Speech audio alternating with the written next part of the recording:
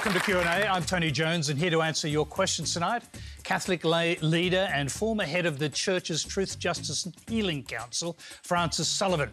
The lawyer who's represented hundreds of survivors of institutional sex abuse, Viv Waller. Liberal Senator and architect of Operation Sovereign Borders, Jim Molan. Former New South Wales Premier, now Labor Senator Kristina Keneally, and relationship counsellor and the man described as America's best known rabbi, Shmuley Boteach. Please welcome our panel.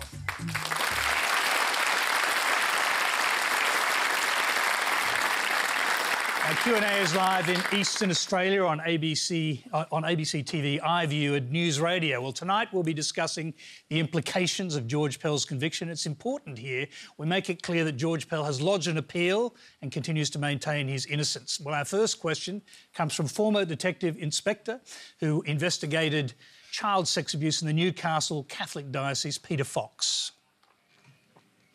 Um, I'll probably um, ask this of uh, Kristina Keneally if I can.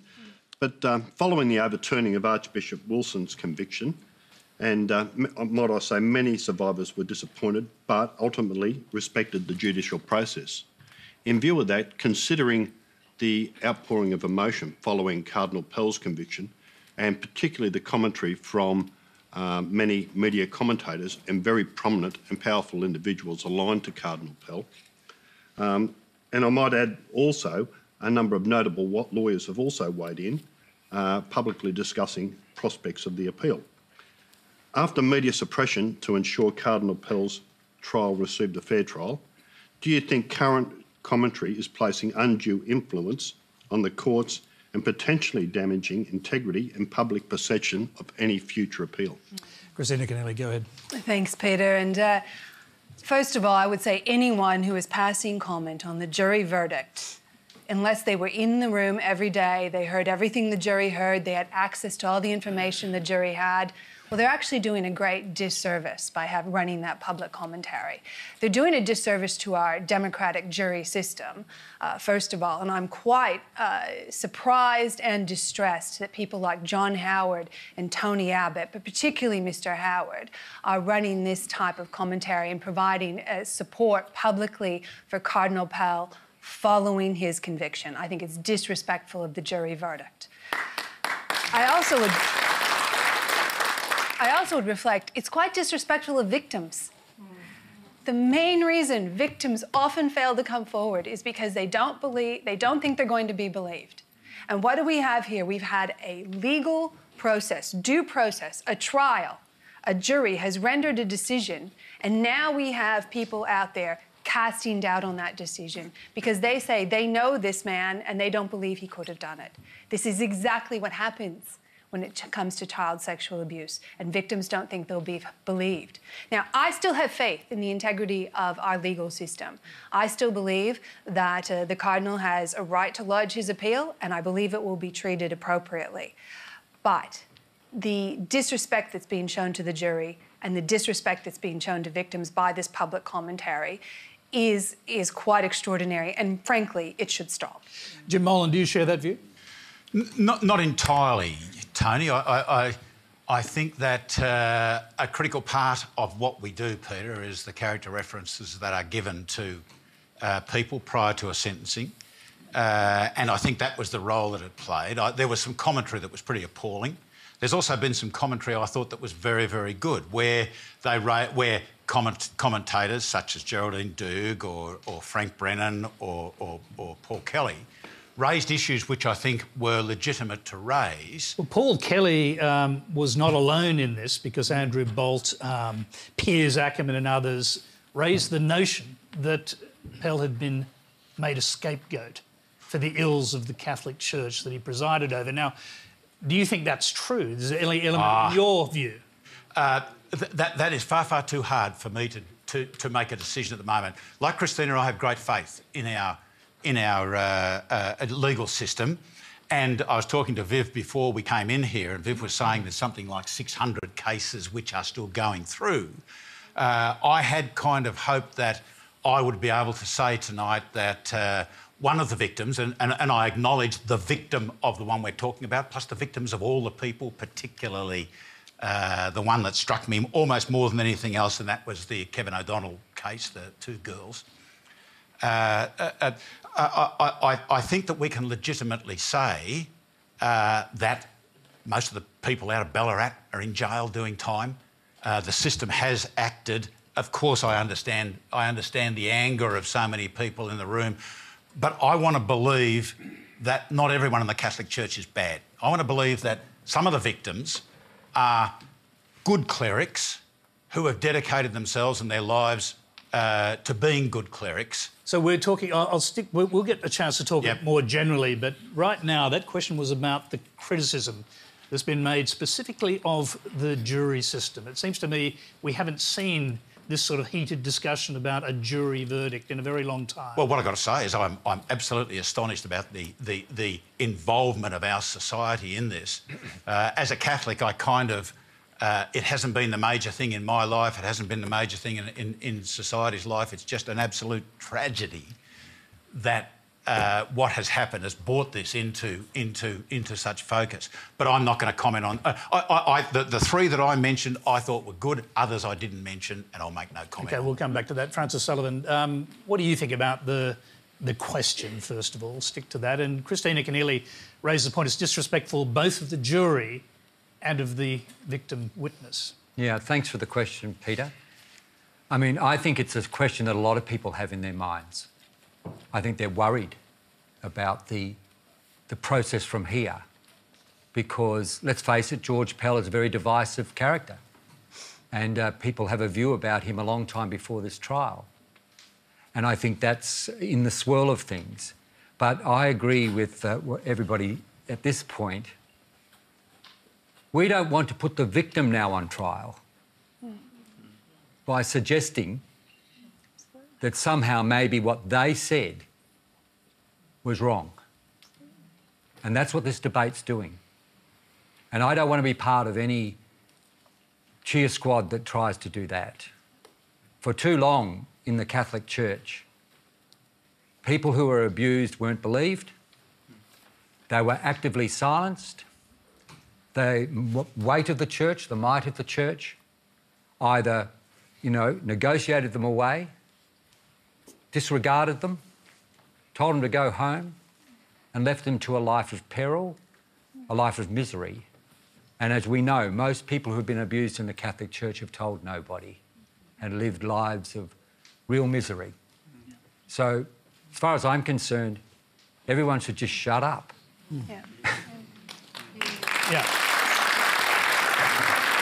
Viv Waller. I think we should make the point here that the uh, the victim in the Pell case, uh, in which he's been convicted, uh, is also your client. Yes, he is. Thank you. Um, and I think it's important to remember that there are a lot of checks and balances in the criminal justice system, and we didn't arrive at this point flippantly or without regard for due process.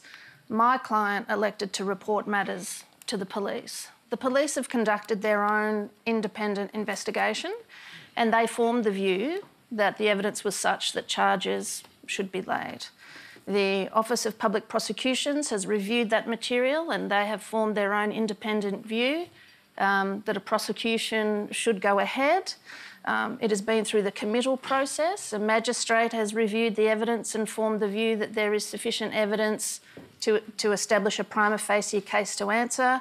It has gone to trial under the guidance of the, you know, an experienced uh, judge, the Chief Justice. Um, the accused person has been represented by experienced and well-regarded um, defence counsel, as he should be, um, and a jury of, um, you know, 12 good women and men have uh, reached a verdict. And I think the danger with some of the opinions being expressed by people who have not actually heard the evidence is that it can tend to besmirch all parts of that process. And really, the only opinion that matters really is the final check and balance. Because if there has been any difficulty in those processes, uh, then I'm sure that the Court of Appeal will act accordingly. Now, your client has chosen to remain anonymous. Um, probably a very smart decision, considering the spotlight that would be on him otherwise. But are you worried um, with people openly questioning, um, I guess, his truthfulness, as Francis said, the truthfulness of the victim in this case? Are you worried about the pressure that he is going to be under? Look, he's quite aware of the fact that the criminal process is not yet over and it has been a very stressful journey for him and uh, he is aware that, that there is more to come. Um, he is a witness in the Crown's case. Um, he has no agency over the way in which the case is put together, run. Uh, none of those decisions are decisions that he makes. Um, and although he is the centre of, um, you know, worldwide media interest, he has had very little agency in the way in which things have unfolded. Um, he is wisely um, respecting the integrity of the process and keeping him, his thoughts to himself. Um, and he'll continue to do that, but it is a very stressful time for him. Rabbi Shmuley, um, I'll bring you in. You, you, arrived in Australia on the day the suppression order was lifted. Uh, your impressions of the case as a, a visiting uh, religious person? Well, as someone who's visited Australia for uh, three decades, um, I think the country is deeply traumatized by this story in a way that no one is fully recognizing. Here you have one of the most famous Australians in the world, really a global religious statesperson, who is um, the most senior religious figure in the country, being accused or and convicted now of unspeakable crimes. And we need not be the most religious society to still be deeply traumatized by the conversation, by the, the, the degree of the allegations and now this conviction. And I understand these differing views. Let's face it, in a democratic society, you're never going to suppress people's opinions about any kind of, uh, uh, uh, of, of any kind of adjudication in a court. When, with the O.J. Simpson trial, I remember that half the country believed that justice had been done, that a, that a man had been vindicated, and half the country believed that a, that a, a man got away with murder. And we're always going to question jury verdicts. We're not going to suppress those views. But I do, I would like to say that, you know, seven years ago on this show, Cardinal Pell was here, and he made a famous statement that uh, was not received well in the Jewish community. He said that the Jewish community, he was surprised that God chose Jesus because the Jews were not an intellectual people because they had not been part of a great civilization. One of the most important intellectual ideas that Judaism gave the world was that no man is God. Therefore, everyone is fallible and everyone is accountable. It's difficult to accept that a person of such high religious standing could be guilty of such heinous crimes, and he may indeed be innocent. But we, there must be accountability. Because I agree with Francis, we have not listened to people sufficiently. And the cognitive, I was Michael Jackson's rabbi. If you think it's easy for me to now see the kind of accusations that were made in the past, but now seem more corroborated by new documentaries, this is painful as heck. And you go through trauma when you believe you know someone, and now there's a whole dimension of their lives which you just cannot believe is the case. But still, the victims have to be heard. Let's move on. Thank you very much. Uh, our next question is from Amanda Votes. Yes, hello, panel. When I was growing up in the 50s and 60s, um, my sense of security came from my parents, my grandparents, and the Catholic Church, uh, and through the teachings of the Catholic faith. Um, it gave me a great sense of security. In um, in Australia, um, almost 25% of the population is made up of Catholics.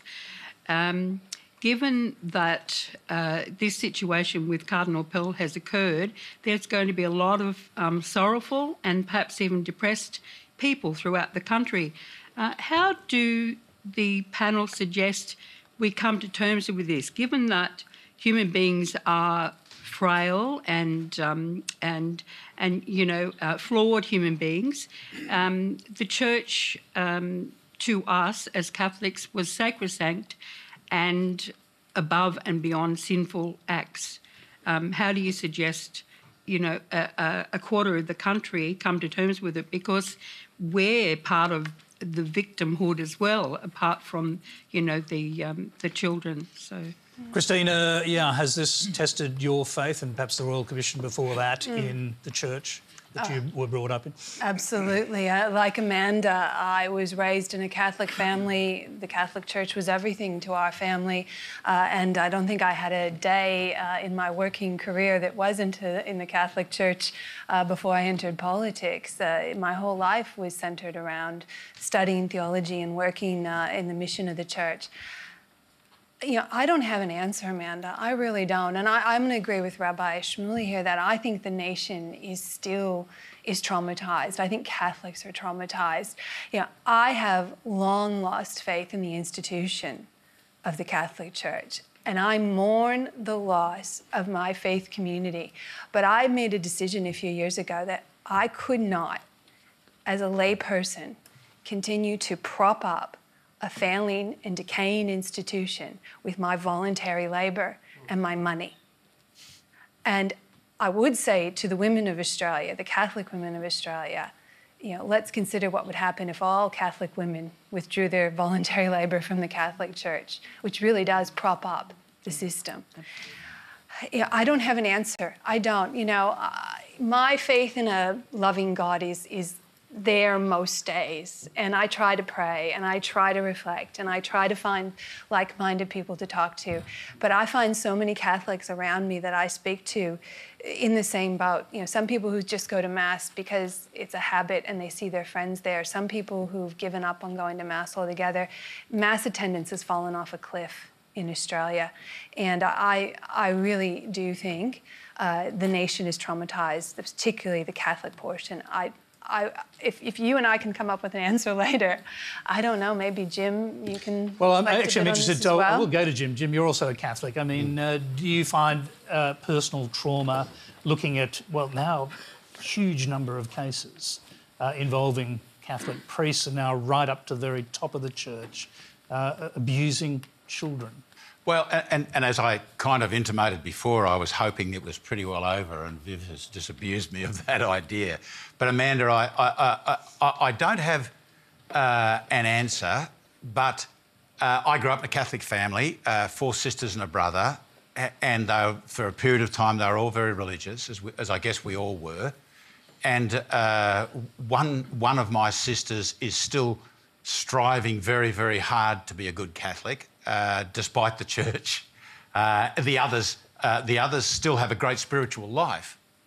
Uh, but, but I, I, think, particularly for women, in my observation, uh, the church has failed them, particularly as believers. I, I, would like to, to, to, comment, if I could, and, and I'm. I'm, I'm just a, a, a lazy Catholic. I'm, a, I'm kind of hedging in case God does exist, which does worry me considerably. but uh, uh, I, uh, I, I, would say that the church has been through this before, and it's been it's been through appalling times. I mean, it's only 2,000 years old. Uh, it still hasn't figured out a whole bunch of things that I think most of us have figured out. What are you talking about, Jim? The Inquisition? well, that, that, that, didn't go all that well. Not so uh, well. the role of women in the church, the role of women as priests, uh, a thousand things that society is moving ahead on.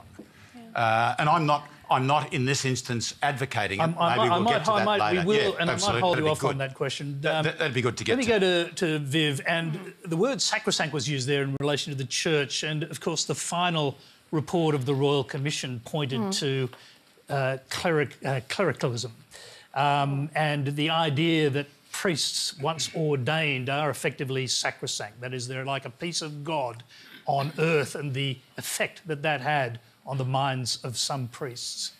So the Royal Commission spent quite a bit of time examining what might be the underlying factors that have contributed to high rates of abuse uh, in the Catholic Church. And I'll just say that the, the Royal Commission conducted up to 8,000 or just over 8,000 private sessions where it spoke with survivors. And a lot of those people reported the role of the person who they alleged had harmed them, and 31.8% of those participants said that they were harmed by a person in religious ministry. Um, 60% of people who um, engaged with the Royal Commission said that they were harmed in, an, in a religious institution. And of that 60%, of that cohort, um, 64% of them reported that it happened in a Catholic institution. So the deep pain that Amanda and other people are feeling comes not just from this current case, but if we truly come to grips with what we have learned from a five year National Royal Commission of Inquiry, we need to accept that there's a, there's a real issue with the Catholic Tell us Church. exactly what clericalism means, because the, the Vatican is now struggling with this. Yes. Um, and the question is whether the Pope, in fact, does something about it.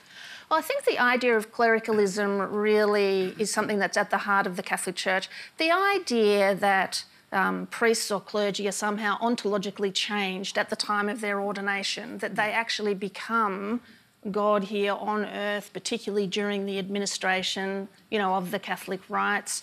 And I think that has put clergy um, in an enormous position of power, and it has generated the concept that that clergy and priests are somehow sacrosanct. They're higher in the pecking order than lay people. They are closer to God. That parishioners in a Catholic church can't commune directly with their God at those important moments of their life. They must go through the through the local priest. And this attitude of superiority has really, I think, diminished the voices of survivors and their family. It has made the Catholic Church act in a way that would protect its own interests, its own reputation, protect the priests. It would do that at the expense of the very values that it purports to uphold as part of its faith and belief. And so, my understanding of clericalism is the kind of corruption of the institution of the church and, and Amanda, just going back to your question, in the course of my work, I've acted for thousands of survivors of sexual abuse. And the heartbreak that I hear from parents, from well meaning, decent, hard working Catholic parents that have sent their kids to Catholic schools only to have their trust betrayed in the most awful of ways. And of course, the survivors, often for reasons that we understand, lose their faith. And then parents are left with the additional heartbreak of thinking that upon passing, they're not going to see their children again. And these are very important things for, for people of faith. So, Amanda, the only thing I can suggest, and I'm, I'm not Catholic and I'm not really a religious person, but I spend a lot of my time hearing about the despair that this causes in families. People, survivors don't feel comfortable going to somebody's funeral or a sibling's wedding. Um, and, it, and, it, causes deep despair. And the only thing I can say to, to, decent Catholic people is don't let your, your church or your faith be stolen from you by, the, by corruption in the institution. Let me throw that uh, to Francis, uh, lay leader in the church. Is it time for the laity to take charge, at least in part, of dealing with these fundamental issues which the bishops and indeed the Vatican seem incapable of dealing with? Yes, um, Amanda, um, over the six years that I did the job of coordinating with the Royal Commission the Catholic Church's engagement, I also went out across Australia of an evening to parishes to talk about the scandal and everyone said, gee, this is the first time that adult Catholics had a chance to talk about what had gone on in their church. And as we always know, part of the clericalism impact is that church treats adults like kids. And we, adults, sort of get compliant with that. We allow the power structure to be the way it is. And I think the paradigm shift's happening. There's got to be a new term of engagement between lay people and the institutional church. It's really important to always remind everybody we are the church. The institution is just the organised expression and administration. But the trouble is, we've put so much store in that, we took our eye off the ball too. And there's a sort of collective responsibility we Catholics have now as adults about the church we want to be, how we want to be it. Most of my adult life, the Catholic Church has basically hectored me on how to do life instead of being a resource to help me negotiate life. It's a different attitude we need, new terms of engagement. And the one key would be we as adult uh, Catholics should start talking about the trauma and insisting, whether it's a priest, whether it's a bishop, insisting that we are mutual in this. And we so, shouldn't be uh, hanging Francis, around. Can I, just, can I just interrupt you just for a moment and briefly? Does that mean you'll have to break the power of the bishops, the cardinals, and the Vatican? Well, sex abuse is all about the abuse of power. and power, privilege, and those who got to participate were the overseers of the abuse scandal. So we have to change that. Okay, let's move on to our next question. We've got quite a few. We'll try and get to as many as possible. The next question is from Albert Morris. Well, I I see the unnatural state of celibacy that is imposed on the priests by the Catholic, Roman Catholic hierarchy. Is uh, they're in position of power, and those people in position of power that abuse that power for uh, illicit sexual gratification is entirely predictable. Because they are in position of power and they're deprived of a natural outcome of their sexuality. So we define nature at our peril. It's now acceptable for the Maronite priests to be married, and similarly, the Jewish uh, system that, although not mandatory, but highly recommends that rabbis are all married. So it's now high time for the Catholic Church to change that stupid rule of celibacy on the uh, uh, their uh, priests and uh, now get back to what nature demands. Thank you, Albert. I'll actually, I'll, I'll throw this straight to Rabbi Shmuley. Since you, since you were mentioned in passing.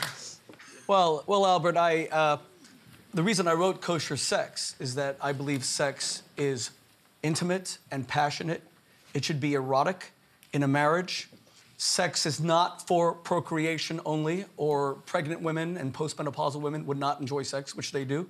It is not purely recreational because we've seen the kind of pain that uh, the Me Too movement has exposed, where it's where recreational sex leads to um, abuses. Um, sex is about intimacy. Nothing more beautiful about sex has ever been said than Genesis 2:24. Therefore shall a man leave his mother and leave his father; he shall cleave unto his wife, and they shall become one flesh. Sex is the motion that brings forth emotion. It takes two strangers and it sews, sews them together so that they feel indivisible. As Zsa Zsa Gabor said, a man is only a half until he's married, then he's finished. but but I, I, I so I, I, I believe in, in sex, and I think that the pontificate of Pope Francis, who is trying to reform the church, will not be complete until he does address the issue of papal celibacy. Uh, I'm sorry, of priestly celibacy. And let us recall that for the first thousand years of the Catholic Church, priests were married, and many popes were married. Having having said that, we have not established a direct link between priestly celibacy on the one hand and pedophilia on the other. And it's unfair to the vast majority of extremely decent moral priests who are extremely altruistic in their calling to say that because they're celibate, there's going to be aberrant behavior. I will say that sex is not a luxury. Sex is a human necessity. And, and it is high time for religion in general and the Catholic Church in particular to address the decline of sex, not just in marriage, but its misuses, its abuses. Sex is broken everywhere today. It's not just a cardinal who's been convicted, which is a tragedy, especially for the victims. It's not just Me Too and so many women who are, who are feeling alienated in the culture from a toxic masculinity. It's the platonic marriages. In the United States, the average American marriage has sex once a week for seven minutes at a time, which includes the time the husband spends begging. And, and when I tell the Australian husbands, like once a week, they're thinking, God almighty, are all you American men on a Viagra drip? Like, how do you do this? Sex is broken, and religion should, should be leading the way in fixing it. Because we shouldn't have women feeling so alienated from an intimate culture. We should not have priests who are paying this horrible price. And above all else, we shouldn't have children who are paying that price. And I think the brokenness of sex, it's amazing that this isn't being discussed when we see the pain it's causing all around. All right. Um, Kristina, uh, celibacy, how big an issue? Oh, by the way, I, I, must say that of our questioner, you're getting the wisdom of a 94-year-old. Uh, two issues about priests in the Catholic Church and ordination. One, you've hit upon uh, mandatory celibacy. Uh, I don't think it should be mandatory. I should be it optional. We also, when priests, and you take the generation that Cardinal Pell entered the priesthood, they would have got them at 15, 16, 17 years old. These are men going into a seminary, being told you will be celibate, and then being given very few tools to deal with that or how to manage that. Uh, and then, as priests go through their career, they get very little in the way of counseling, mentoring, professional development, monitoring, whatever. So, ordina- priesthood itself is, is, is flawed and broken. I would also say ordination is a big problem. Francis talked about the need to uh, take back power. The problem in the Catholic Church is that ordination equals power. Mm-hmm. And only celibate men can be ordained. And that means that celibate men make the rules and they preserve power to themselves. And you know, when Viv talks about clericalism, she's spot on. The clerical class of the Catholic Church has utterly failed. And this is what they need to address that they have used ordination as a way to preserve power to themselves. And I would say, possibly the best way to deal with this is not to get rid of ordination or get rid of, of celibacy as a gift. For some people, it is a gift, but to open ordination up, open it up to married men, open it up to women, open it up for short term ordination, or perhaps someone wanted to make that lifelong commitment. You know, I once sat in my church while the priest told us to pray because we had a shortage of vocations. Sitting around me was one man who'd left the priesthood, he was married. And there were three of us women who had degrees in theology. And none of us were allowed to take up the job because we didn't fit that physical requirement that they had set up, and they set it up so that they could preserve power to themselves. Uh, you've uh, you've forecast a little bit one of the questions we are going to go to. I'll go straight to uh, Megan Powell du Toit now, um, so that we can discuss that and the previous question. Go ahead, Megan. I'm a female Baptist minister, and so my question's to you, Kristina Keneally. Um, my experience has been that a lot of women who've experienced abuse from own, in my own tradition, but also from other traditions where there's few or no female clergy, come to me yep. to tell me those stories.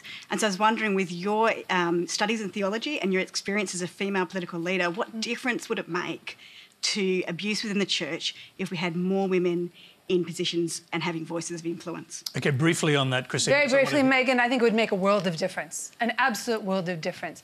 You know, if women and parents, women religious, married people were involved in the decision making when the complaints about sexual abuse started to arise, I think we would have had a much different outcome. It's a lack of accountability, a lack of democracy, and a lack of participation from the full body of the church that has led us to where we are. Jim. What do you think? Well, I think as a class, uh, the, the, the, clerical class have failed. As individuals, many, many of them have not, and it must be hurting them very, very badly.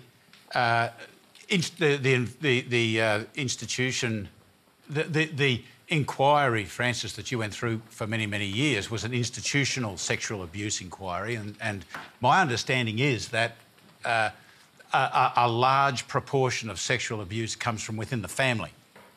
Mm-hmm. I think I think that's correct. That's my understanding of members of the family do it. So maybe, sir, the answer is not that that that uh, uh, uh, that uh, uh, the fact that uh, priests that, that, that clerics are not permitted to marry is the source of it. The fact that I absolutely agree with what Kristina said. We we should have more women. Of course we should. It should be optional.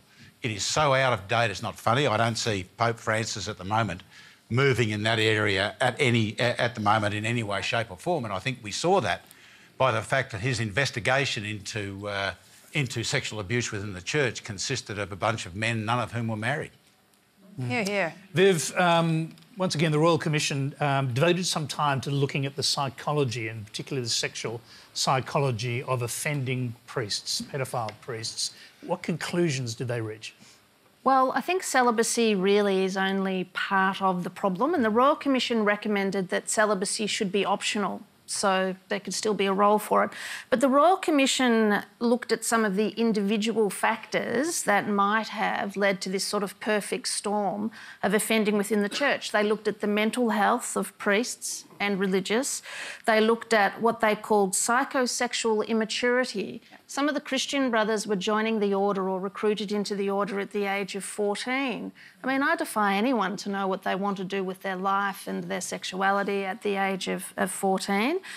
The other kinds of individual factors went to um, sort of lack of maturity generally, or possibly narcissistic personality disorders.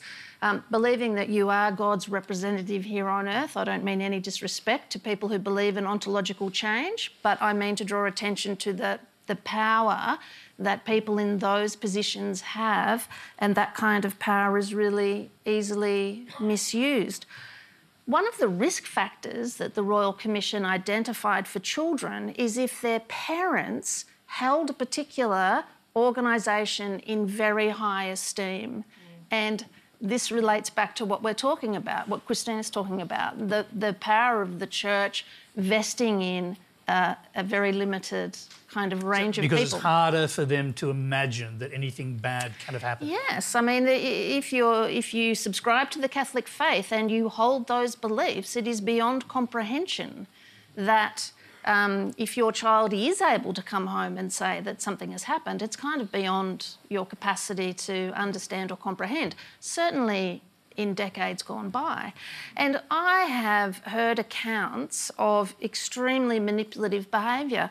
The child is um, alleges to have been sexually abused at school. By the time they run all the way home from school, the priest or the Christian brother uh, is actually at their house having a cup of tea with their mother. So the kind of power that the priest has to um, know so much about families, to know which children are vulnerable, to know, you know, whose dad's a drinker or whose mum's had a miscarriage, which children have been a bit naughty and might not be believed anyway. Anyway, I mean, you'd have to address that kind of underlying kind of power. Um, so I think celibacy is part of it, and I accept the argument that that some people make that celibacy um, might have something to do with it, but I think it falls short of explaining too much of it. Okay, Francis, um, celibacy and the prospect of women, married men becoming priests, um, is that where you think the church needs to go now? Well, firstly, Albert, um, I think it's common sense. Even though celibacy doesn't cause the abuse, uh, sexual abuse of children, it was a significant contributing factor. And the church needs to front that and not just dismiss the argument because it's not causative. It was a contributing factor, particularly in the, as Viv uh, eloquently said, the psychosexual tension that some individuals had, the loneliness and so on that was associated with their lifestyle. Part of their lifestyle is to be celibate. So I think the church really has to front that and not you know, not try and, uh, in a sense, spin the, spin the argument away. Where should the church be moving now? Obviously, if you look at the Australian scene, there is a shortage of priests, and the only place priests are really coming from is outside of Australia. And for about the 10% of Catholics who practice, they are finding at times it difficult to relate to the individuals who are now their priest, and the priests themselves are finding it difficult. And there's only one reason for that, and that's because we don't open up the ministry, as Kristina said, to former priests, to married men, and to women. It doesn't have to be a debate just about women, because you the bishops panic then. It's a debate about opening up the, the whole holy orders debate into making Australia, an Australian Catholic Church, where Australians are ministering to each other about Australians' lifestyles so we can relate to each other and we can be, look, um, if women walked away from the church on a Sunday, you'd hear crickets. you think, by the way, do you think the Australian church could go it alone here? No, they... they... won't go it alone. They won't go alone on anything. Hmm. I mean, there are a lot of things that the Australian bishops should be advancing, but they seem really paranoid about Rome. Hmm. Okay, let's move on. You're watching Q&A live. Our next question comes from Chrissy Foster, whose two daughters, Emma and Katie, were raped by Melbourne priest Kevin O'Donnell while they were at primary school in the 1980s. Chrissy. Thank you. I think this one might be for Francis. Why, when children are the essence of Christianity, trusting, loving, innocent, and virginal, do some clergy sexually assault them?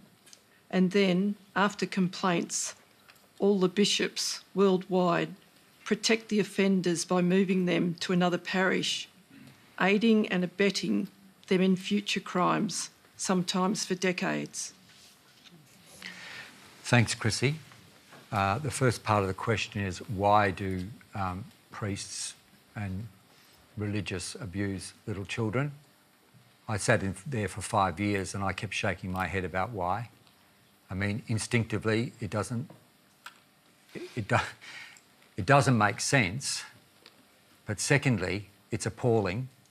And I could only say, from listening to the Royal Commission reports, they're sick.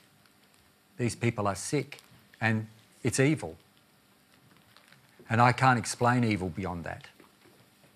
The real other big crime is then the show covering it up. And why does that happen? Because there's a club. It's part of clericalism. And I think, unfortunately, too, men are more permissive of the sexual uh, of the sexual behaviour of men than they should be. And I think there's been too much excusing, too much permissiveness, and then ultimately an instinctive defensiveness that somehow seems to, seems to value the good name of the institution above the welfare of a child. And if you put those two things together and look at everything the Royal Commission has said and recommended, unless the Catholic bishops of Australia, on every recommendation, can demonstrate that the welfare of the child is the number one priority, then they've failed again. Mm-hmm. Chrissy, there was another part of your question, and I'll let you answer. Let you ask that now, I should say. How can politicians still let the church set up and run their own money-saving, victim-demeaning schemes? Uh, Francis, I'll go back to you on that, and I want to hear from the rest of the panel on it. But uh, the Melbourne response was Cardinal Pell's answer to this. Um, should it be, should it be discontinued immediately? Yes. The days of the church investigating itself are meant to be over. Um, that's the whole reason why there's a national redress scheme. Uh, the Catholic Church leadership signed off on our recommendations that they should, when it comes to civil uh, actions, they should provide an entity that can be sued. They should act like a model litigant and not play tricky games. Now, that's what they said they would do. But they're not doing it, Francis, is that what you're saying? It? Because they yes. appear to be, at the very least, dragging their feet, um, to put it mildly. I think, uh, as I've said before, the Catholic Church uses inertia as a management tool. They drag their feet on purpose. And unfortunately, even when there can be a pronouncement on high from major archbishops, it doesn't it isn't followed through on the ground by particular orders or, or dioceses. They're all uh, a law unto themselves. What the Catholic Church needs in this area I totally agree. It should be shut down, the, the internal redress schemes and reparation schemes. But the church needs an ombudsman type role mm. where it brings bishops into account because they're accountable only to the Pope. And we've seen recently that even the Pope, who I like, has a real blind spot in this area. He is not strong enough in this area. And he is too, I think, intimidated by colleagues like cardinals and other significant influential clerics. Uh, Kristina, I'll, I'll, bring you in here, and um, we should note actually that uh, one of the policemen who was involved in the Pell case said today not only were the police uh, was the church um, not helpful but they were behaving like uh, demonstrators, uh, lying on the road, having to be dragged off. Um, that was his analogy, and it did seem quite an appropriate one when you heard what was going on. Yeah, look, uh, Labor uh, has a view that the uh, failure of the church to sign up as a single entity is quite disappointing. Uh, it does uh, put victims in a terrible position. Uh, we supported the National Redress Scheme because it was the option that was available. It was a sound scheme. We do think it should be uh, changed, though. Uh, it is a federal scheme, though the states have all signed up to it as well. So changing it is not a unilateral decision for a federal government. But were we to be elected, uh, we would like to see some changes to it. We would like to see the compensation go up to what the Royal, uh, the Royal Commission recommended, $200,000. Uh, we would like to see victims have adequate time to consider the redress offers that have been put to them. Uh, we would like to ensure that they're getting adequate counselling and support as they go through the process. Yeah. I would have argued long before this Cardinal Pell case came about that the Melbourne response should be shut down. Uh, and that is what the National Redress Scheme is supposed to achieve that we move away from the churches investigating themselves and keeping it all in house to something that is far more transparent and accountable. Uh, yeah, I, they don't have to sign up to the scheme till 2020, mid 2020. So we're in a situation now where institutions should be feeling the public pressure. And I would say putting a spotlight on those sections of the Catholic Church and other institutions that haven't yet signed up is what we need to start doing and asking them why. Why haven't you signed up to this scheme? Uh, Rabbi Shmuley, uh, in the United States, um, where you face very similar problems, um, some prosecutors are using RICO laws. That is to say, they're treating the church as if they're mobsters. Um, do you think that's kind of where we're at now? Well, what we see with this conversation is that this we're now discussing a referendum on the church in general and religion in general, and not just on sexual abuses. We're kind of going to whether churches should be regulated, what should be the interplay between politics uh, and between the church and faith in general. So I think it's important to say, no, firstly, I, I think that is going a bit too far. I think it's critical to say that faith plays a vital role in the lives of billions of people around the world. You know, Viv is correct that we have to be careful not to idolize an institution to the point where we don't question clerics, where we turn a blind eye believing that they're superhuman in some way and they can't do any wrong. But let's not become cynics. There's also the need for idealism. The fact is that the sexual abuses we've seen in the Me Too movement happened mostly so far, at least exposed in Hollywood, very secular culture, nothing to do with religion. These people were certainly not celibate. Uh, we saw monstrous abuses. Um, the Catholic Church, for all of its shortcomings, remains one of the greatest forces for good in the entire world. It has the world's largest network of orphanages, of hospitals. Think about all the good that, that, that nuns do and priests do. So I feel that we're almost taking this, we dare not become extremists. We have to find the golden middle path. For too long, we have minimized the incalculable harm done to a child when they are sexually abused. It was almost like because you couldn't see the harm, because you couldn't see the trauma, it was it wasn't so bad. We now know it's bad beyond description. That people kill themselves from these things, let alone their inability to trust and develop relationships, let alone the violation of the innocence of a child. So we've learned our lesson. Let's put that into context and pressure Pope Francis, who I think really wants to make serious changes, to make those changes. But for us to make this a, a general referendum, and I hear the pain of so many Catholics why should I continue to pray? Why should I go to church? You don't go because of a priest. You go because you want to connect to God. You go because you want to lead a compassionate, ethical life. You go because you don't want to be like these hypocr- hypocritical religious fraudsters who are religious in name only. Christine, you want to be the real go thing. Yeah, well, I'm sorry, but you know, when you're going to an institution that is supposed to mediate God's grace and love, that says to you, through our sacraments, you will experience God, and through our priests, you can experience God's mercy and love. And then that very same institution does exactly the opposite of what Jesus said. Jesus said, Let the little children come to me. And you must be like a little child to enter the kingdom of God. But when that very same institution and those very same clerical class so violates what they preach, you have to ask, where is God's mercy? Where is God's love? And when that same institution which teaches people like me and all of us who've been through Catholic school what the act of contrition means. It supposedly means you confess your sins and you make a resolution to act differently. Where is the church's act of contrition? Where have they made a resolution to act differently?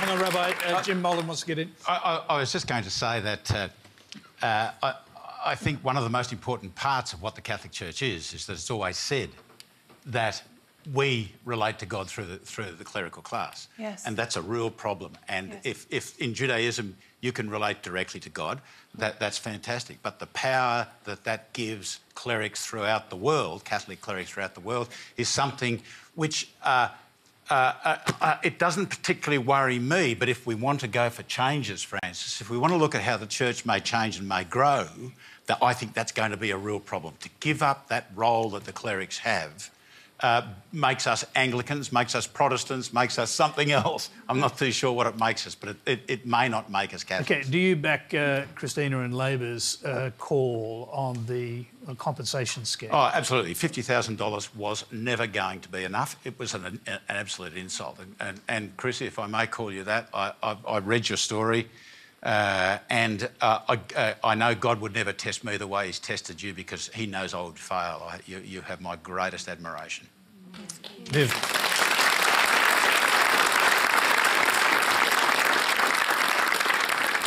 I'd also like to respond to Chrissy um, and her question about why. What we know about the circumstances of Kevin O'Donnell is that the Archdiocese of Melbourne knew that he was a sexual predator in 1958, and Chrissy's children, her beautiful children, did not attend that school until the 90s. That was a harm that was completely avoidable if the Catholic Church or the Archdiocese of Melbourne, in this particular matter, had managed to do what every other decent Australian knows to be true if you have reasonable grounds to suspect that a child is being sexually abused, you report that to the police. They, it got as far as the Vicar General um, that there were allegations against Father Kevin O'Donnell, and nothing was ever done about it, and he was never reported to the police.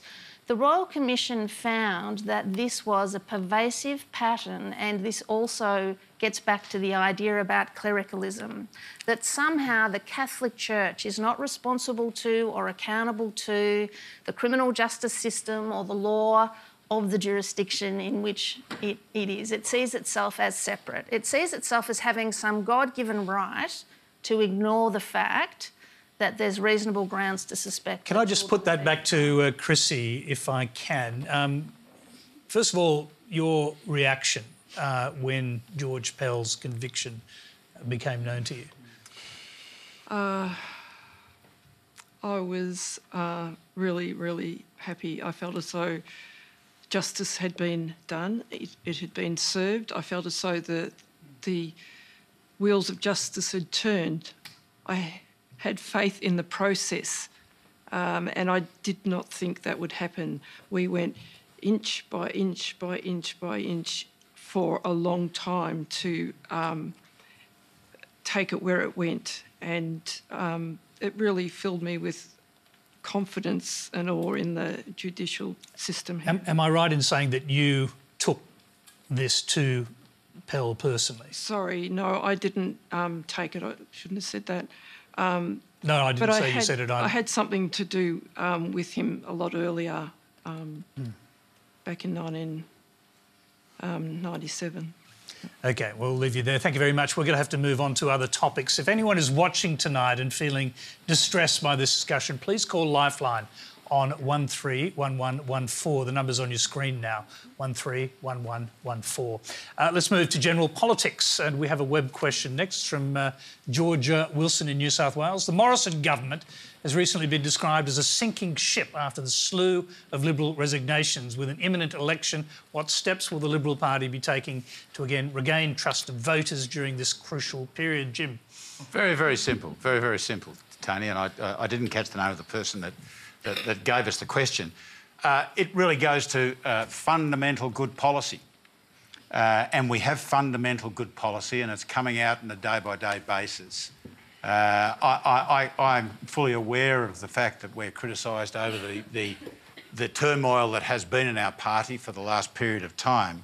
It's not an unusual turmoil. We have probably someone that I consider now to be running this, um, to be running our party as, as, the Prime Minister, Scott Morrison, uh, who as a person is one of the most competent people I've seen. I work with him, as you introduced me, in Sovereign Borders.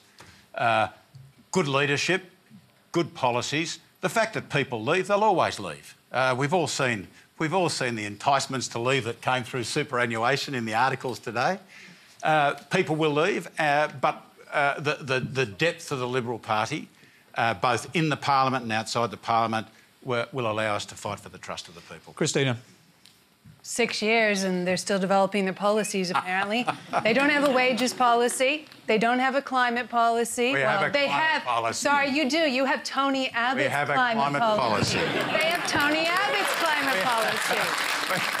$2.25 billion in five years of Tony Abbott's climate policy. What do we get? Emissions going up emissions going up and cost of power going up.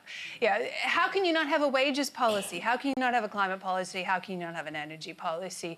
You know, what we do know uh, is after six years of this government, the chaos and the division that we are seeing means everything uh, is going up for the Australian family except their wages. And that chaos and that division is having a real impact on the people of Australia.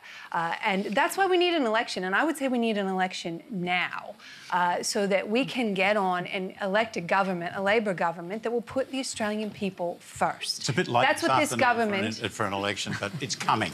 it's coming. Well, bring it on, I say. Bring it on. OK, we've got another political question. Uh, I'll go straight to that uh, quickly. It's from Mehmet Soyuz Sadija.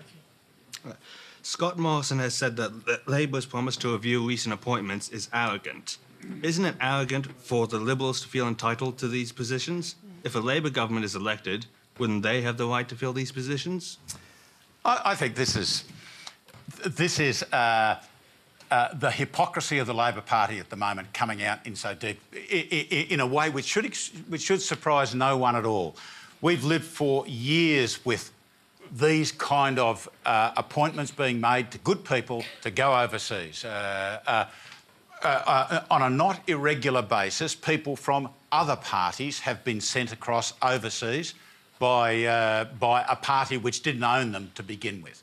It's, it's invariably the best person for the job, a good person for the job, and I think it's the utmost of arrogance now to think so, to demand briefings for Labor Party politicians. I, I mean, Kristina may even go and get the health briefing coming up pretty soon, I think, as, no. as, as she moves into... Catherine King As she anticipates moving into Cabinet. This is a case where where it's always about the jobs, isn't it? So not it, Jim? It's always about who gets what job. I, am more interested in about your job and your wages. I, He's more interested in about the jobs they can appoint their mates to. No, no, no, no. But, uh, sorry, uh, Kristina, isn't it? It's, it's, certainly been reported widely that Labor has a hit list, and uh, and people have been told not to unpack well, you know, their bags when they arrive at their posts. You know, hello world.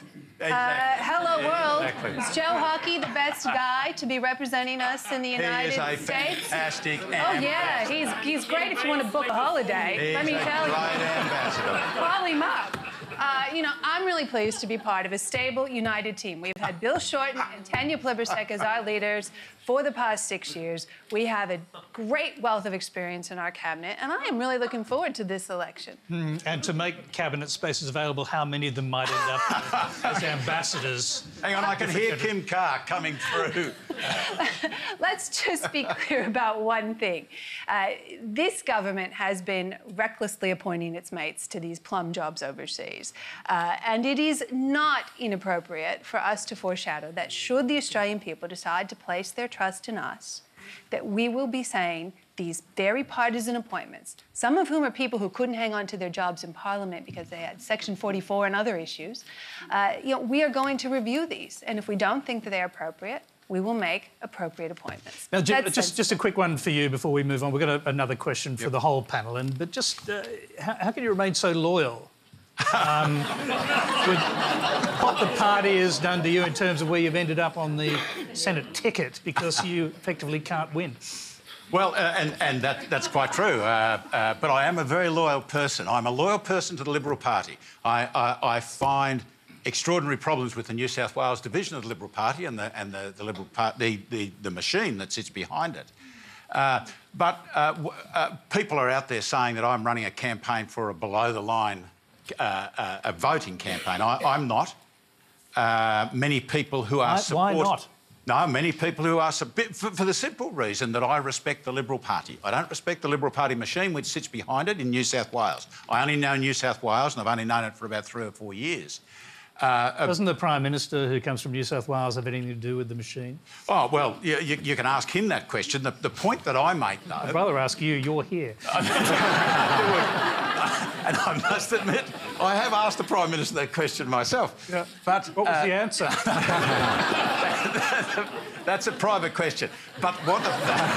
Just shared with all of us. Not anymore, Jim, if well, well, so few people watch Q&A. Oh! I can probably share it with you quite safely. But the point that I do make is that everyone in New South Wales has the right, as Malcolm Turnbull made it very, very easy, to vote below the line. I can't advocate they vote for me, but if you vote above the line, I'm out I, can I add? Can I jump in here because we do politicians. We like to, you know, go at each other, right? Of course, it's an adversarial system, and of course, I will advocate you vote one Labor above the line. but I will say this: I worked with Jim on the Select Committee and inquiry into stillbirth, and it was the first time in Australia we'd had a national look at this issue. It was a bipartisan committee. Uh, Jim and I both had personal experiences, my daughter Caroline, his granddaughter Emily, and he was amazing to work with. I'm just going to say that. In his military experience meant a great deal, brought some real uh, strategic thinking to our work. And, and, you know, I'm a bit sad that your party hasn't put you a bit higher up. Um, and, and if, if you don't make it in your uh, campaign, or not your campaign, I will miss you, Jim. I guarantee you, Jim, more people will watch this valedictory speech than the one that happens in Parliament. Uh, now, there's you. time for one last question. It's from Esther Fisher. Okay, I guess that's for you, Rabbi. Um, in my opinion, pornography is just a symptom of a much bigger issue.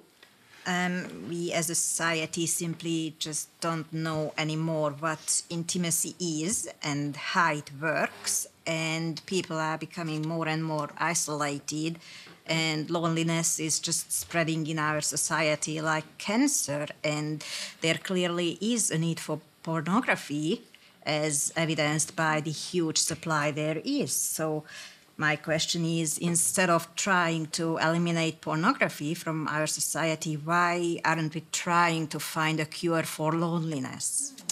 Rabbi Shmuley, um, I have to say that, that uh, Great Britain has a minister for loneliness. And it's an interesting concept maybe uh, other countries should take up. Well, it's one of the reasons, getting back to this issue of celibacy, the very first thing that the Bible says is bad is that it is bad for man to be alone. And that's the beginning of Genesis. I completely agree. But how is pornography possibly compensation for real human company? To the, to the, the exact opposite is true. Pornography is the living degradation of women. It trains the male mind to see a woman as a means to an end. It makes women into the walking embodiment of a male erotic fantasy. And it, it leads to disrespect because it means that women exist to fulfill those erotic fantasies. I actually think that it does a serious, uh, toxic harm to how men view women, and it makes them very objective about women, meaning the only synonym I can find for love is the word subjectivity, because to love is to be rendered subjective. Your emotions actually color and transform and enhance the object of your love. But when you become too objective, when you've absorbed thousands and thousands of these images, you learn to look at women very objectively to, to the extent that it's, it's difficult to be attracted to women because you're no longer responding instinctually, you're responding almost psychologically. You're, you, it's, it's no longer a visceral attraction.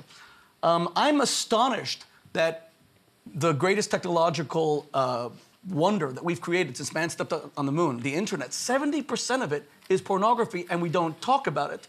And the fact is that men have to learn how to be gentlemen. Men have to learn how to respect women. We focused a lot about the damage done to children. And I completely agree that every cleric has to be held accountable. And we have to also emphasize that rabbis and priests and imams, we're only human beings and we struggle and, and we're not divine. And I agree with so much of that criticism. But let's not forget how many women are being turned off of sexuality because of the male approach. So loneliness is real, it has to be addressed. I don't know if we have to create a minister, but I'll volunteer myself to be Australia's Minister of, uh, of Love and Loneliness. Uh, I'll be the love rabbi. But, uh, but, I, but I would love to see women stepping up and saying this is unacceptable. Do you know how many marriages I counsel where there is a living, breathing, beautiful wife naked in bed while her husband is online looking at fictional images of porn? And of course, porn only works in great quantity. It no longer, Playboy, all these magazines were killed by internet porn because there's only one woman. If you click internet porn, tens of thousands of images suddenly arise, or so my friends tell me. Uh, and, and, the reason is because it leads to boredom, it leads to erotic boredom. Familiarity breeds contempt. So it actually it, it desensitizes us erotically, it diminishes attraction, it degrades women, it makes men incapable of being attracted to one woman, and finally, it makes sex so boring because porn uses just a few formulaic uh, sexual devices that are always the same. It stifles real sexual creativity, and it makes men think that sex is not sensual, it's not about connecting with a woman, but it's about doing things to a woman. And I think its toxicity finally has to be exposed. The fact that someone like Pamela Anderson would join me in publishing a book, this book, Lust for Love, when, you know, she has appeared on the cover of uh, Playboy more than any other woman. And we debated this, and she says that Playboy is art, and I don't necessarily agree, but she definitely agrees about hardcore pornography. So the more, it's almost like we want to look at the Me Too movement and we want to change male behavior, but without looking at some of the factors that are causing men to disrespect women, that are causing men to look at women as a means to an end rather than as an end in and of themselves. OK, I'm going to go around the table on this. Viv, what do you think?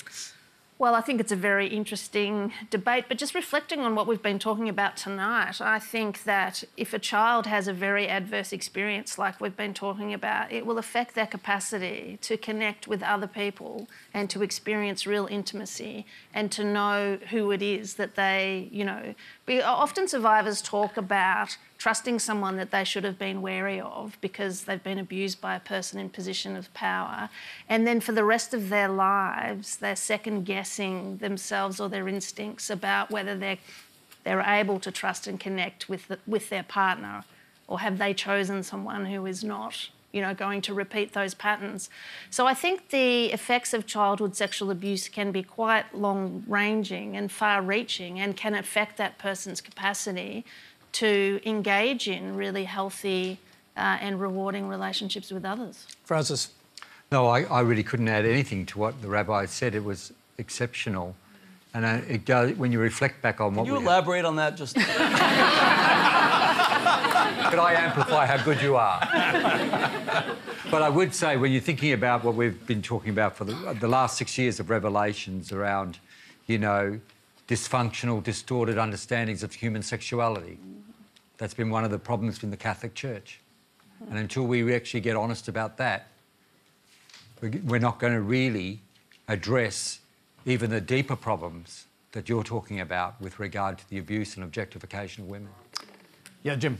Uh, one of my uh, good friends, uh, uh, Father James Grant from uh, Victoria, an ex-Anglican who comes to the Catholic Church, uh, married with a family, I wrote the forward to, to a, a, book where he was writing about the empowering of, of parishes, pointed out to me once that uh, Catholic priests don't address issues in the same way that Shmuel just addressed the issue. I've never heard a Catholic priest talk like that. Mm-hmm. Um, uh, and, and, a lack of understanding. Um, no, I think I think we're also uptight about most things, but they also don't talk about the international situation. They also don't talk about so much that we in Parliament have to address on a day-to-day basis. And uh, you know, they, they, get one, they get uh, 15 minutes uh, a week at 10% of their population. It'd be good if they made it. Uh, I mean, you'd probably get 20%, Rabbi, if they put you there. Kristina. I have to convert, okay. Uh, I would make two observations. Uh, one, that um, uh, when, the, when you talk about the Catholic Church, it has been obsessed with sex. Uh, it has been obsessed with sex as a tool for pro- procreation. And I think it's part of its failure in dealing with and understanding the role of women, women in a family, uh, women in a community, women in leadership, uh, is because it fundamentally understands the role of sex in a relationship. You know, it thinks sex is just for procreation. And one of the most uh, interesting moments that happened in the past few years was when we had an Australian couple, Ron and Mavis Pirola, went and participated in the, the church's teaching uh, synod on the family, and they told a bunch of bishops, they're, they're, they're older, Ron and Mavis, they're probably about my parents' age, and they told the priests how much they enjoyed having sex with one another. And all the bishops were very uncomfortable about this because here was this older couple talking about having sex as a pleasurable thing. And so the church misunderstands sex and means they don't have the ability to talk to people about real relationships and loneliness. And then on the other hand, we have what the rabbi's talking about. And I can't help but think of Malcolm Turnbull's statement that not every um, act of disrespecting women ends in violence, but every viol- act of violence against women and starts with an act of disrespect. And I would agree completely with the rabbi that when pornography leads to the disrespect of women, it fosters that culture of abuse. And if we are going to do something about uh, driving down domestic violence rates and the abuse of women in our community, we need to look at some of the causes. And I think you've got you've hit the nail on the head with that uh, that. Uh, that very eloquent speech. You Thank you very much. Thank you, Kristina. And that is all we have time for tonight. I'm sorry to say, please thank our panel Francis Sullivan, Viv Waller, Jim Molan, Kristina Keneally, and Rabbi Shmuley Boteach.